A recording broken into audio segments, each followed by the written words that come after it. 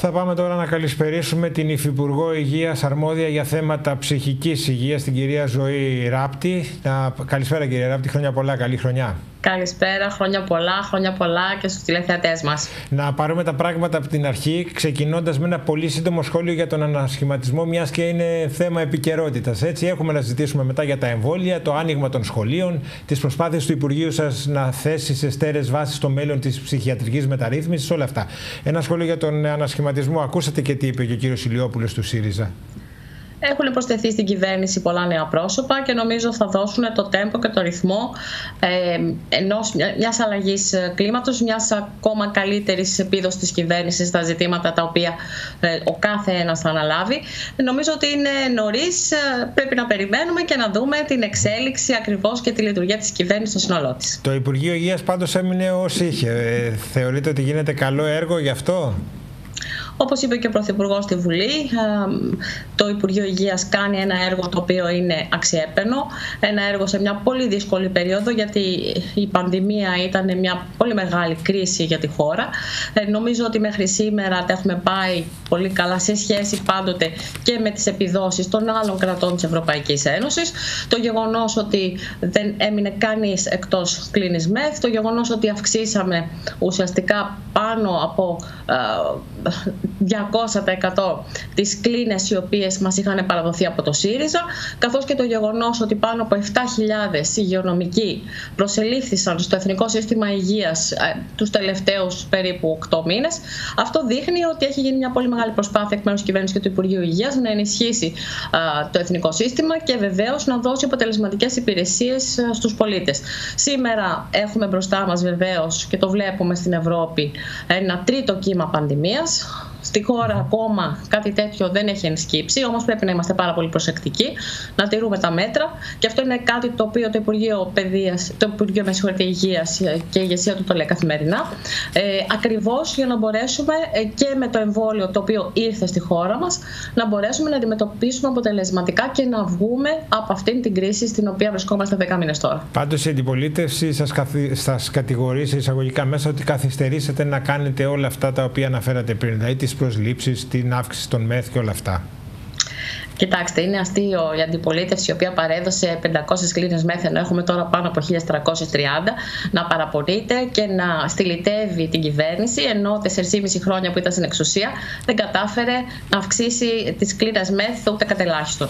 Ε, άρα το γεγονός ότι επίσης μέσα σε αυτό το πολύ μικρό διάστημα προσελήφθησαν όλοι αυτοί οι υγειονομικοί αλλά και το λοιπό διοικητικό προσωπικό το οποίο ανέφερα, είναι επίσης ένα δείγμα το ότι ο ΣΥΡΙΖΑ ουσιαστικά χωρίς να έχει ε, ένα επιχείρημα, προσπαθεί έτσι με πρωτεχνήματα να επηρεάσει την κοινή γνώμη σε βάρος κυβέρνησης, αλλά νομίζω ότι τα αποτελέσματα ε, δείχνουν ακριβώς το αντίθετο. Ότι η κυβέρνηση σε αυτό το επίπεδο και στο επίπεδο δηλαδή της αντιμετώπισης υγειονομικής κρίσης ε, τα πάει κατά την άποψή μου πάρα πολύ καλά.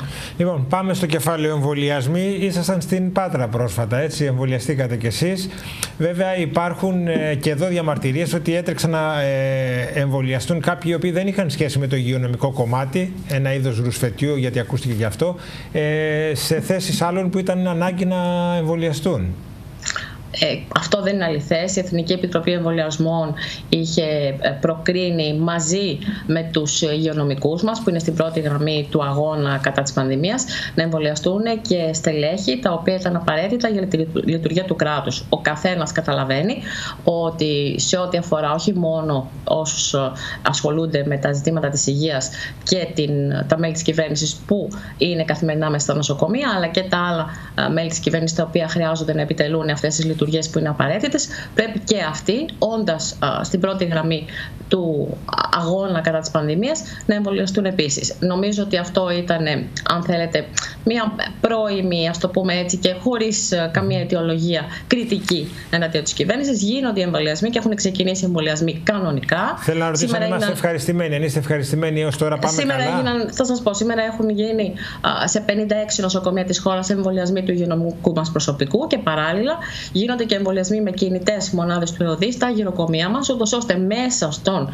Ιανουάριο να έχουμε μπορέσει και να έχουμε καταφέρει να εμβολιάσουμε τόσο όλους τους υγειονομικούς μας, όσο και βεβαίως ε, τις ευπαθείς ομάδες που βρίσκονται στα γυροκομεία, αλλά και αυτούς που βρίσκονται στις δομές ψυχικής υγείας της χώρας, τι κλειστές δομές τις λεγόμενες, ε, και στη συνέχεια ε, να προχωρήσουμε και στους εμβολιασμούς των ιδιωτικών γιατρών που είναι στα ιδιωτικά θεραπευτήρια και παράλληλα να συνεχίσουμε και να εξελίξουμε σε πολύ σύντομο διάστημα το επιχειρηματικό σχέδιο Ελευθερία για τον εμβολιασμό του γενικού πληθυσμού. Από, ο πληθυσμός θα ξεκινήσει να εμβολιάζεται mm. από, ε, από, ξεκινώντας από τους μεγαλύτερους σε ηλικία, οι οποίοι θα είναι από 85 και πάνω και σταδιακά θα κατεβαίνουμε προς τα κάτω, mm. ούτως ώστε να εμβολιαστούν όλοι οι συμπολίτες μας που είναι από 70 ετών και άνω. Να ρωτήσω από αριθμό εμβολίων, είμαστε εντάξει από δόσεις εμβολίων, ε, κύριε Ράπτη; Είμαστε εντάξει, μέσα στο Ιανουάριο θα έχουμε πάνω από 200.000 δόσεις. Ε, εκεί, σήμερα ε, θα ετοιμάζονται να παροδούν και εμβόλια εκτός από την πρώτη εταιρεία η οποία έχει παρα, και παραδίδει εμβόλια σήμερα την εταιρεία Pfizer και εμβόλια της εταιρείας Moderna και θα ακολουθήσουν παραδόσεις και άλλων εταιριών μέσα στον μήνα Ιανουάριο που σημαίνει ότι θα υπάρχει πλήρης επάρκειας σε εμβόλια προκειμένου σύμφωνα με το πρόγραμμα να εμβολιαστούν αυτοί οι οποίοι έχει ανακοινωθεί ότι θα εμβολιαστούν από το Εθνικό Σύστημα Υγείας. Μάλιστα. Άνοιγμα σχολείων ε, ανακοινώθηκε 11 του μήνα. Τι βλέπετε, πώς το κρίνετε; Κοιτάξτε, το άνοιγμα των σχολείων αφορά βεβαίως ε, τα δημοτικά και τα νηπιαγωγεία. Ε, αυτή τη στιγμή νομίζω ότι ε, βεβαίως τα μικρά παιδιά φαίνεται ότι δεν μεταδίδουν τον ιό και σε κάθε περίπτωση είναι αναγκαίο να ξεκινήσουν τα σχολεία. Αυτό είναι κάτι το οποίο η κυβέρνηση το έχει πει με όλους τους τρόπους. Όμως, σίγουρα θα γίνει έλεγχος του επιδημιολογικού φορτίου προϊόντα του χρόνου. Θα δούμε και τα αποτελέσματα στα, στα κρούσματα, τα αποτελέσματα ενώ αυτών των ημερών που όλοι βρεθήκαμε ε, σε στενό οικογενειακό κύκλο βέβαια, αλλά βρεθήκαμε με τους συγγενείς μας. Άρα λοιπόν θα δούμε αν υπάρχει και κατά πόσον υπάρχει αύξηση του επιδημιολογικού φορτίου.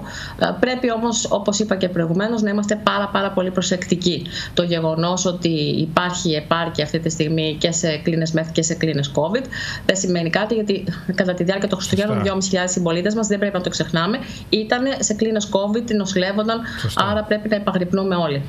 Ε, είναι μεγάλο θέμα και το ψυχικό κομμάτι, η ψυχική υγεία, πέραν από τη σωματική. Έτσι και εσείς έχετε ασχοληθεί όσο κανείς άλλος φαντάζομαι από τη θέση σας. Ε, με τις γραμμές αυτές τι γίνεται, πώς πάμε τις γραμμές υποστήριξης ε, κυρία Ράπτη; Η γραμμή 10306 που είναι η γραμμή ψυχολογικής υποστήριξης για τον κορονοϊό η οποία λειτουργεί σε συνεργασία με την πρώτη πανεπιστημιακή ψυχιατρική κλινική του γεννητήριου νοσοκομείου, την Ομοσπονδία Αργό και το χαμόγελο του παιδιού. Δίνει απάντηση ε, και δίνει συμβουλές στους συμπολίτες μας που θέλουν να ζητήσουν βοήθεια σε ζητήματα ψυχολογικής υποστήριξης. Δίνει επίσης συμβουλές και σε ζητήματα που αφορούν παιδιά. Ε, η επιλογή 3 όταν καλέσει κανείς στη γραμμή 10306 αφορά σε συμβουλές για παιδιά που τις δίνουν οι ειδικοί του χαμόγελου του παιδιού ε, και λαμβάνει καθημερινά πάρα πολλές κλήσεις. Έχουν υπερδιπλασιαστεί οι κλήσεις που λαμβάνει. Σήμερα μέχρι σήμερα έχουν καταγραφεί πάνω από 120.000 κλήσεις από την έναρξη βεβαίως της πανδημίας ε, και είναι μια προσπάθεια την οποία έχει ενισχύσει το Υπουργείο ακριβώς για να δώσει απάντηση στους συμπολίτες μας που το χρειάζονται. Πέραν αυτού έχουμε και συγκεκριμένα προγράμματα τα οποία ε, θα λειτουργήσουμε στα νοσοκομεία σε σχέση με την παροχή συμβουλευτικής υποστήριξης και στο υγειονομικό προσωπικό είναι οι άνθρωποι της πρώτης γραμμής, αυτοί που έχουμε χειροκροτήσει και χειροκροτούμε καθημερινά, οι οποίοι και αυτοί κουράζονται ε, σε πολύ δύσκολες συνθήκε. Υπάρχουν προγράμματα που στηρίζουν και αυτούς τους ε, Υπάρχουν ακριβώς ναι. και παρότι. Είναι αυτά ε, στους πέντε άξονες που ανακοινώσατε πρόσφατα; Ακριβώς. Ακριβώς. και οι υγειονομικοί μας, παρότι γνωρίζουμε ότι δεν έχουν το χρόνο μέσα στη διάρκεια της ημέρας τους να βοηθηθούν από την συγκεκριμένη παροχή της υπηρεσίας, όμως μπορούν και το Σαββατοκύριακο να βρουν έτσι την συγκεκριμένη ψυχολογική υποστήριξη, γιατί ξέρετε, αντιμετωπίζουν πολλοί εξ αυτών και το έχουμε δει και από την επικαιρότητα, αντιμετωπίζουν πολλά ζητήματα και στην επαφή με την οικογένειά τους και στον φόβο μήπως μεταδώσουν τον ιό, γιατί είναι κάθε μέρα στην πρώτη γραμμή. Και αυτά είναι ζητήματα στα οποία προσπαθούμε να τους βοηθήσουμε. Μάλιστα. Έχει πρόγραμμα μέσα στον άξονα, ένας από τους άξονες αφορά και σε ανέργους και ασθενείς ε, ναι. με χρόνιες παθήσεις, ε; Ακριβώς και ε, υποστηρίζουμε και θα υποστηρίξουμε όλο το επόμενο διάστημα ασθενείς με χρόνιες παθήσεις ε, στα νοσοκομεία μας. Με συγκεκριμένο πρόγραμμα γίνεται με βεβαίως εξ αποστάσεως, αλλά με δυνατότητα να έρθουν σε επικοινωνία ψυχολόγοι μας με όποιον το έχει ανάγκη, με συγκεκριμένο κατάλογο, ούτως ώστε να βρουν εύκολα, να έχουν μια εύκολη πρόσβαση σε αυτόν τον ψυχολόγο και να παρα, τους παρασχεθεί η ψυχολογική υποστήριξη καθ' όλη τη διάρκεια ε, και της νοσηλείας τους, αλλά και βεβαίως και μετά όταν έχουν την κατοίκον έτσι παραμονή. Μάλιστα. Θα τα καταφέρει το Υπουργείο. Τι λέτε, κυρία Ράπτη, για να κλείσουμε; Είναι δύσκολη μάχη, έτσι, για να είμαστε ειλικρινείς. Είναι πολύ δύσκολη μάχη. Είναι μια δύσκολη μάχη με πολύ παραγωγική. Δεν πέφτει και ο αριθμός ε... των διασωληνωμένων και οι νεκροί. Εντάξει, κάπως κατέβηκε ο αριθμός των νεκρών, αλλά και των διασωληνωμένων που είναι ένα νούμερο που είναι δύσκολο. Πράγματι, είναι σε αρκετά υψηλά επίπεδα σε σχέση έτσι, με την με τα διαθέσιμα κρεβάτια. Εκείνο το οποίο ακριβώς ε, πρέπει να έχουμε όλοι στο μυαλό μας είναι ότι ε, επειδή αυτοί οι δύο μήνες, ο Ιανουάριος και ο Φεβρουάριος, είναι μήνες όπου οι λοιμώξεις ε, αναπτύσσονται στο έπακρο, πρέπει ακριβώς να προσέξουμε ιδιαίτερα, ούτως ώστε όλοι μαζί να καταφέρουμε να μην αυξήσουμε τον αριθμό των ανθρώπων που νοσηλεύονται και βεβαίως με, την σταδιακή, με το σταδιακό εμβολιασμό του πληθυσμού να καταφέρουμε μέχρι την Άνοιξη να φτάσουμε σε ένα μεγάλο επίπεδο ανοσία του γενικού πληθυσμού, ε, το οποίο σημαίνει ότι θα μπορούμε να βρούμε ξανά την ελευθερία μας, σημαίνει ότι μπορούμε σταδιακά να γυρίσουμε στις ε, παλιές καλές μας συνήθειες. Να είστε καλά, κυρία Ράπτη, σας ευχαριστούμε θερμά. Ευχόμαστε καλή χρονιά και καλή επιτυχία στο έργο σας. Και εγώ σας ευχαριστώ. Καλή δύναμη και σε εσάς και καλή χρονιά. Καλό σας βράδυ.